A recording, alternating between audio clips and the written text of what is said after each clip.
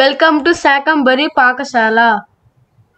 Hello అండి ఈరోజు మనం ఆలు దోశ ఎలా చేసుకోవాలో తెలుసుకుందాము.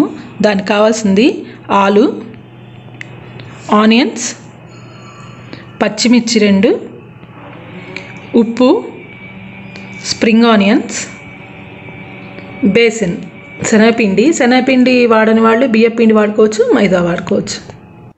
ఒక స్పూను కార్న్ ఫ్లోర్. ముందుగా ఆలుని ఇలా పీల్ చేసేసుకుందాము.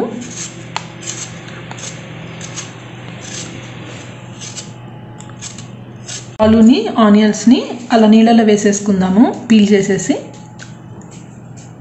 ఆలూని ఇలా తురిమేసుకుందాము. చాలా తొందరగా అయిపోతుందండి ఈ దోశ ఇది తురుముకోవడమే ఆలస్యం. మిక్సీలో వేసుకోవద్దు పేస్ట్ వస్తే బాగుండదు. ఇప్పుడు ఒక బౌల్లో తీసేసుకుందాం ఆలు తురుముని ఇప్పుడు ఉల్లిపాయలని కూడా తురిమేసుకుందాము. తురిమిన ఆనియన్స్ని కూడా ఇందాక ఆలు బౌల్లో వేసేద్దాము.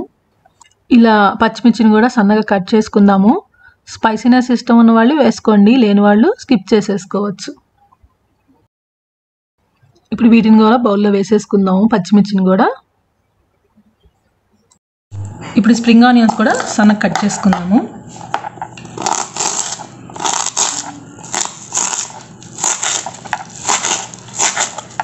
స్ప్రింగ్ ఆనియన్స్ని కూడా వేసేసుకుందాము.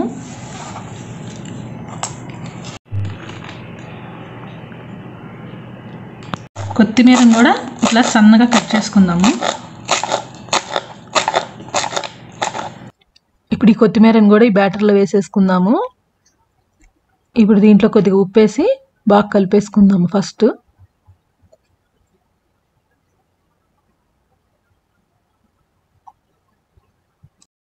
ఇప్పుడు దీంట్లో ఒక రెండు స్పూన్స్ శనగపిండి ఎక్కువ అక్కర్లేదు. బైండింగ్ కోసమే. ఇది చాలా ఈజీగా అయిపోతుంది చాలా టేస్టీగా ఉంటుంది. ఇలా పిండిని కలిపేసుకొని పెట్టుకుందాము పక్కన. ఇప్పుడు ఇంకో వెరైటీ ఆలు దోశ కూడా ఎలా చేయాలో అది కూడా చూపిస్తాను. రెండు కలిపి ఒకేసారి దోశ వేసుకుందాం. దీనికి ఆలుని ముక్కలుగా సన్న ముక్కలుగా కట్ చేద్దాము. ఇలా కట్ చేసుకొని చాలా సన్నగా కట్ చేసుకోవాలి పల్చగా.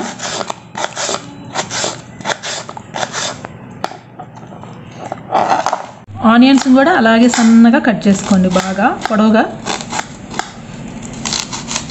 ఇలా మధ్యలో కట్టిస్తే మీకు బాగా వస్తుంది.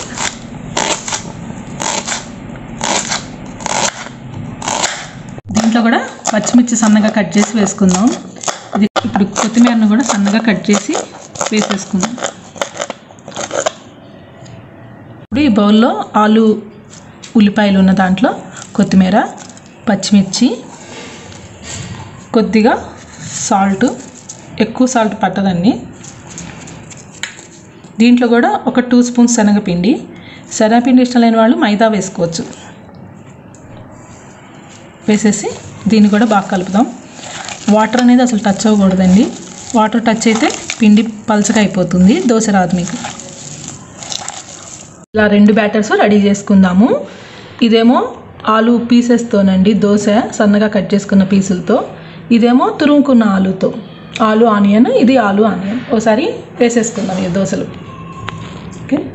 ఒక నాన్ స్టిక్ ప్యాన్ తీసుకొని దాంట్లో ఒక స్పూను స్పూను రెండు స్పూన్స్ వేసుకోండి. ఆయిల్ కొద్దిగా ఎక్కువే పడుతుంది.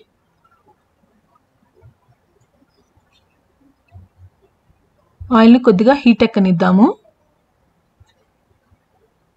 ముందుగా ఈ ఆలు తురుము బ్యాటర్ని వేసేసుకుందాము. దోశలాగా.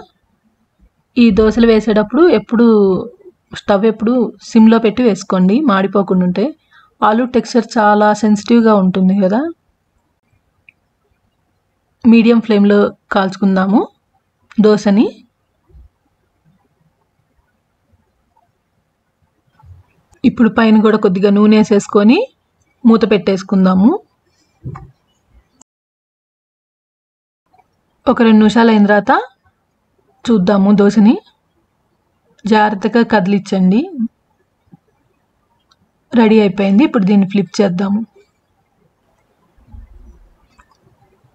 జాగ్రత్తగా ఫ్లిప్ చేయండి. రెడీ అయిపోయింది.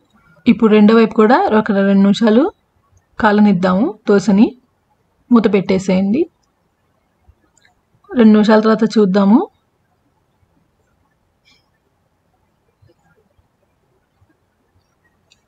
రెడీ అయిపోయింది. కొద్దిగా వెనకాల వైపు ఇంకొద్దిసేపు కాలు వస్తే బాగుంటుంది. మళ్ళీ తిప్పేసి ఒక రెండు నిమిషాలు దోశని కాలనిద్దాము. కొద్దిగా ఆయిల్ వేసుకుందాము. మూత పెట్టేసేయండి. అయిపోయింది. ఇప్పుడు దీన్ని ఒక ప్లేట్లో తీసేసుకుందాము. అంతేనండి. ఆలు తురుము దోశ రెడీ అయిపోయింది. ఇప్పుడు రెండో దోశ వేసుకుందాము. ప్యాన్లో కొద్దిగా ఆయిల్ వేసేద్దాము. దీనికి కొద్దిగా రెండు స్పూన్స్ ఆయిల్ వేసుకోండి. ఎక్కువే పడుతుంది. ఆయిల్ హీట్ ఎక్కిన తర్వాత మనం బ్యాటర్ వేసేసుకుందాం. ఇది ఇప్పుడు ఆలు ముక్కల బ్యాటర్ జాగ్రత్తగా వేసేసుకోండి పెనం మీద. ఇప్పుడు ఇందాక కార్న్ ఫ్లోర్ ఉంది కదా దాంట్లో కొద్దిగా వాటర్ కలుపుకొని ఈ దోశ మీద వేసేసుకుందాం. వేసేసుకొని ఇంకేం చేయొద్దు అలాగే వదిలేసేయండి. ఇప్పుడు దీని మీద కొద్దిగా ఆయిల్ వేసుకుందాము. ఇది చాలా జాగ్రత్తగా వేసుకోవాలి. మూత పెట్టేద్దాము.